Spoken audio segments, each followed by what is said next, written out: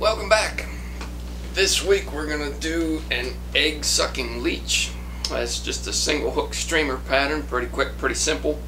Um, the little one here has just been running all over the place. Cam's been having a blast entertaining herself with the uh, deer antler. She's running all across the thing.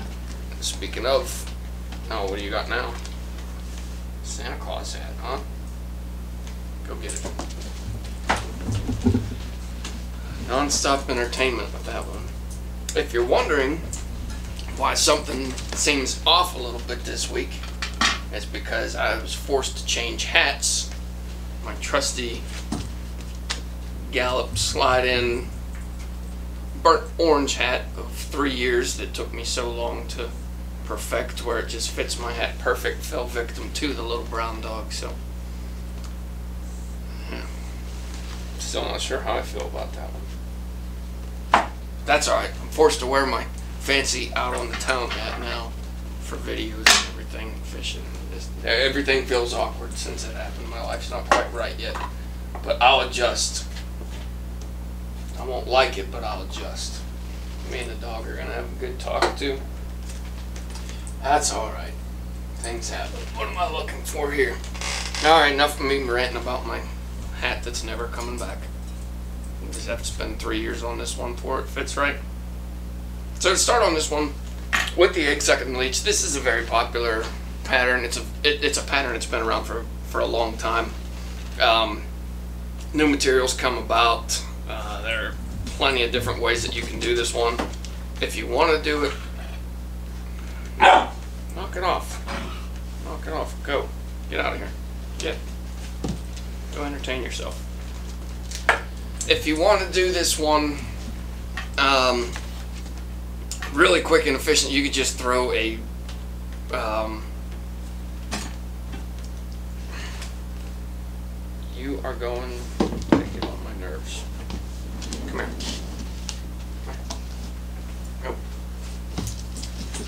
if you want to do this one really quick and efficient and not have to worry about a material in the front, you can just go with a uh, bead head, you know, probably something along the lines orange, yellow, somewhere about that.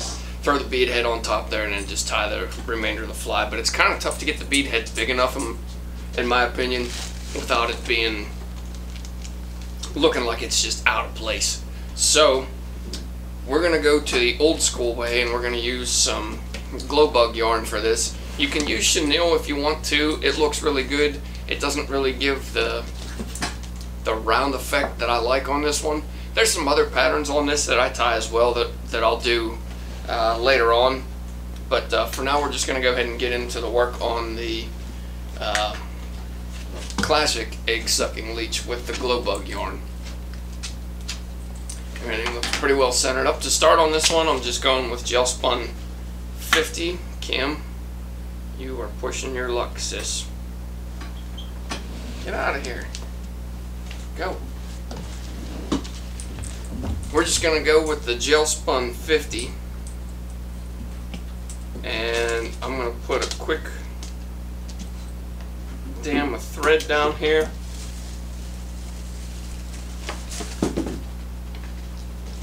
And then I'm going to do the, the egg yarn first on this. Um, you can do it last. I, I just like the way that the fly finishes and then I can get, I don't have a ton of material to work around when I'm trying to put this glow bug yarn on at the end. So it's easier for me to do it this way and I think it looks a little cleaner. So, I got just a mess here. Just a mess. Blame it on the hat. That's why I'm all out of sorts here. So just like when we did the glow bug or the egg pattern from a couple of weeks back and actually I want to move this over some.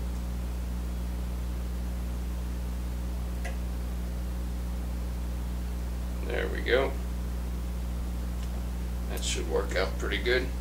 We're just taking strands of this glow bug yarn and we're going to go work on the top, we're going to work on the bottom, and then we're going to get some onto the sides here.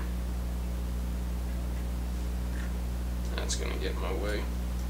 Just trim that out. Trim that out. Alright, so we're just working top and bottom on this. Now we're going to go to the sides, and I need to hurry up while the dog's taking a little rest on the couch and maybe allow me to finish this video up in a somewhat timely manner. Alright now we're going to take this as well and we're going to go right on the side. I'll work my way around this, just make sure that this is nice and secure. And then same thing on the other side. Get around there. There's the one. Get those about as even as possible. Um, if they're off just a little bit, it's not going to hurt much anything. Alright. I like that. I'm going to call that good. Go ahead and whip finish.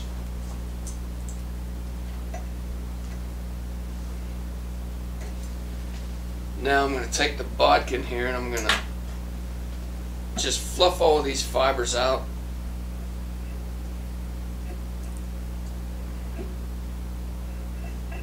Kind of untangle this matted mess that the glow bug yarn comes in. Then this way it'll make a little bit more circular of a pattern for you. Alright, just like before when we were trimming the glow bug, just gonna, uh, actually on this one I'm gonna peel everything up to the top. And I'm just gonna make a nice rounded half moon cut.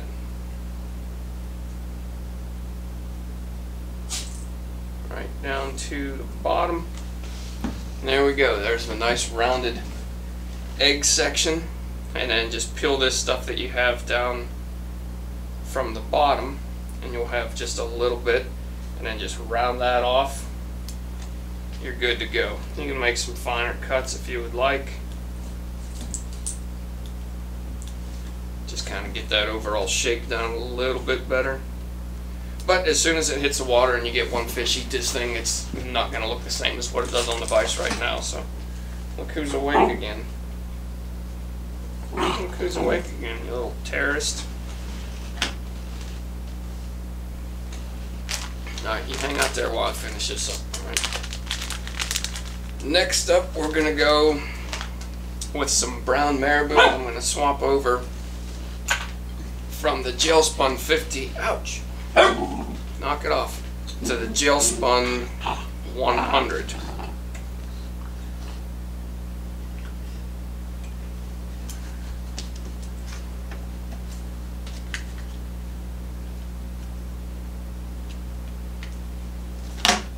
See what I got to deal with.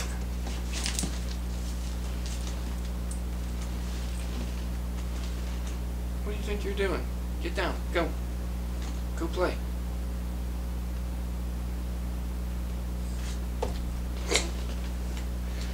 Like I was saying, back to the gel spun 100.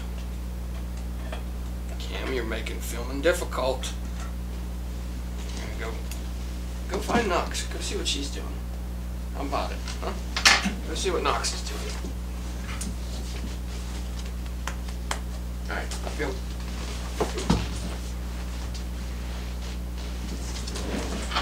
Oh my. Top quality production this week. Top quality. Alright. Back to it. She has come out of her shell, needless to say.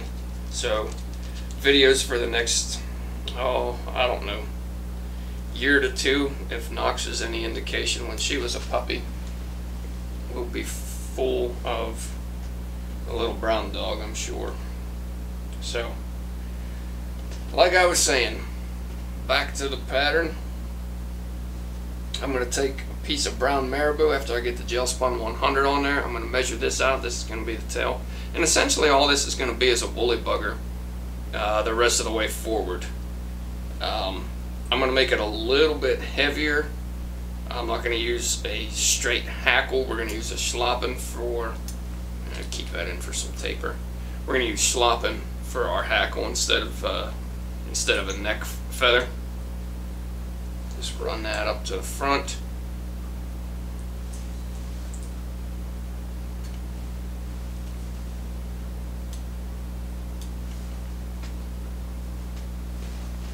Um, I'm going to take two strands of copper holographic.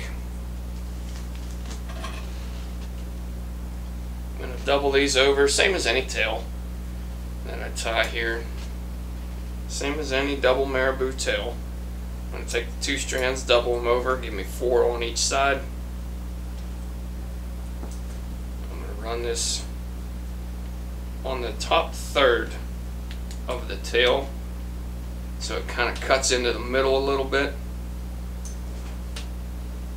and then same thing bring this over the top give this a quick trim there we go we've got our internal flash sitting there back to another marabou piece Let's see if I can find one that I like here that'll do That'll do. Take the marabou. We're gonna tie this tail in. Knock it off.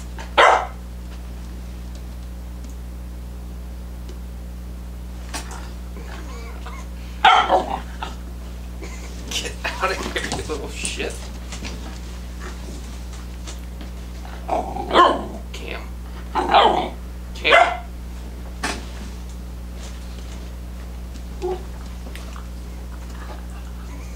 This is ridiculous.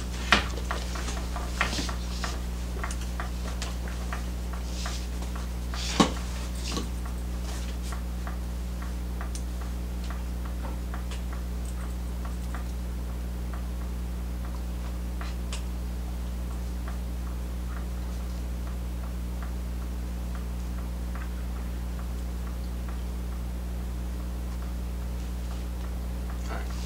Are you done stealing the show? Get.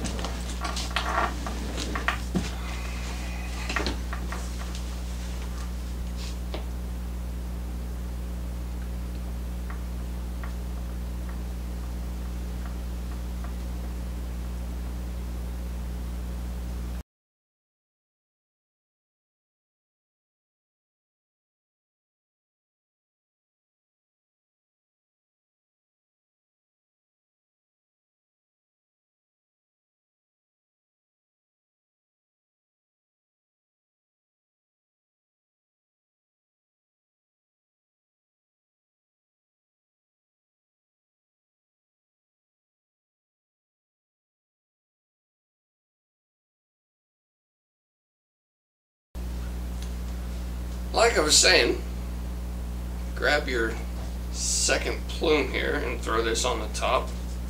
I need to hurry up and get through this one because she's lurking again. Throw that on the top, get this nice and secured. Turning a 10 minute video into 45. Who the hell she thinks she is, me?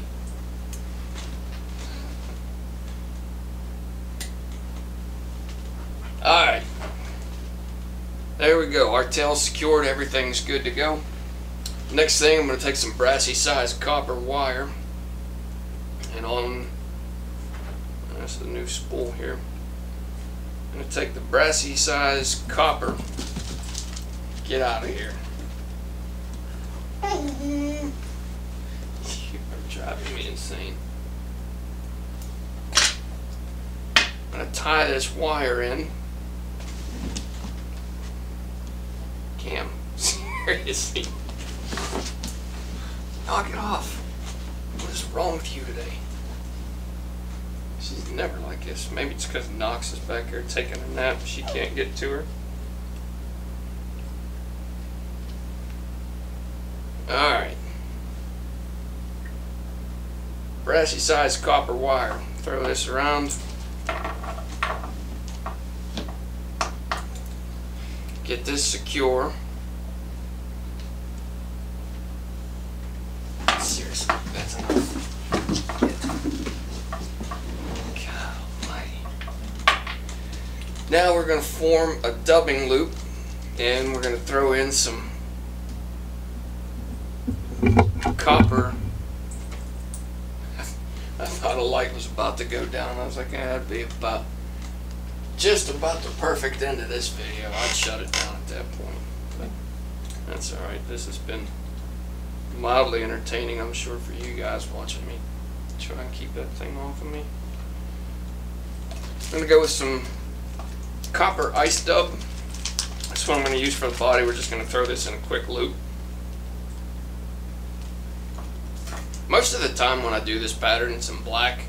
Um, but I figured we'd mix it up a little bit today, throw some different colors on here.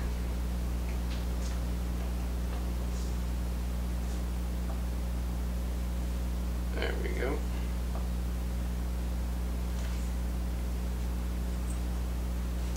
Now we're just going to take this and we're going to run it right to the front after we throw this in our dubbing loop.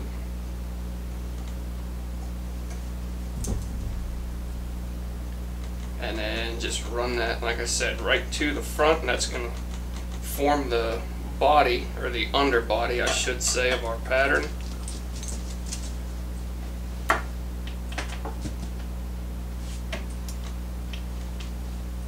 Call that good still have our wire sitting off to the side, which is going to trap our schlappen once we tie that in. Now what I want to do is just peel that egg section forward for now. So you can see how that that glow bug yarn, I just have this coming to the front and I have a little bit of extra space to tie in my schlappen here and get my first two wraps as close to that as possible. Now I'm going to oversize this. I'm going to pick a pick a feather that's typically I would use on a you know this is a size 6 hook. I would typically use this on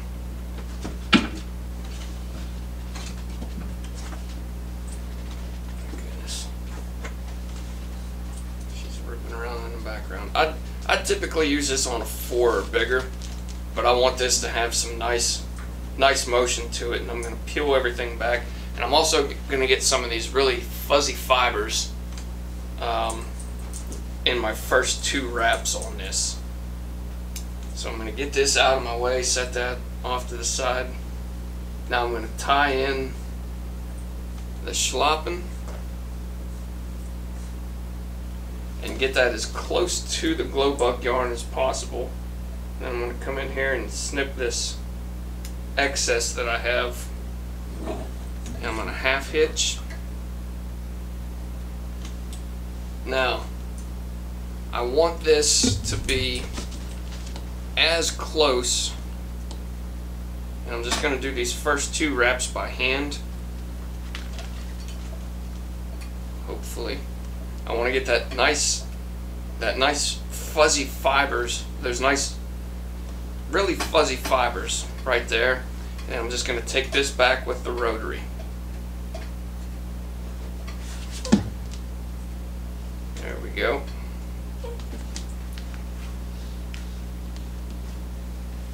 As you can see, those fibers are a lot bigger than what you would typically use on this fly, or this size of a hook. I'm gonna beat you, dog. Stay down. No. Now we're just going to counter wrap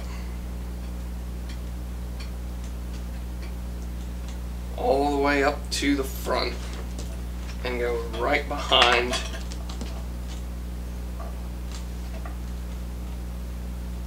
the glow bug material.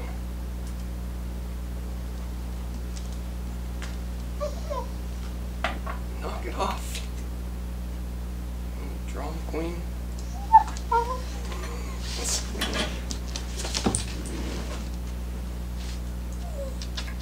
Oh, poor thing. You don't get to interrupt any more filming.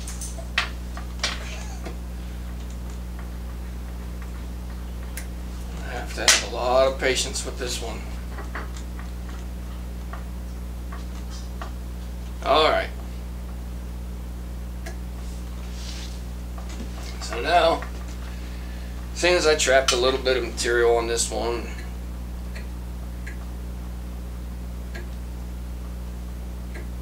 I'm just gonna pick this stuff out with my bodkin. I got a little bit trapped in there when I counter wrapped this one, so I'm gonna go through and pick this stuff up. The, the whole point of this is I want this this body section to be as swimmy as possible. That way, you know, that's part of the reason that I go with the longer fibers. Um, I don't have any issues with it interfering with the hookups or anything like that.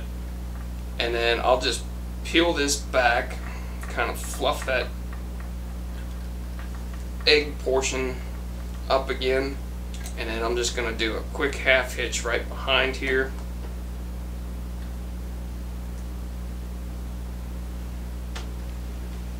Tie that off. Call it good. I'll throw a little drop of glue on there to keep everything how I want it, but uh, do that after the fact. And then the very last thing that I'm going to do is touch this up with a little bit of yellow. That way I get rid of my white thread there. Touch the white thread up with some yellow and we're good to go. Now you can see as this thing gets wet, all of this schlappen is going to wind up peeling back and it's going to form a really nice bulky body on this. I'll just wet my fingers a little bit to give you sort of an idea of what we'll be looking at.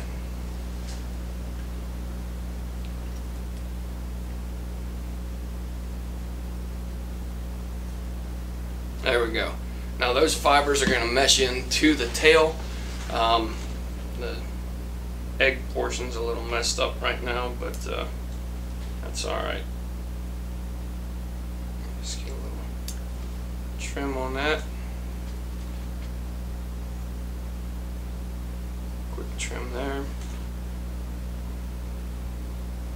There we go.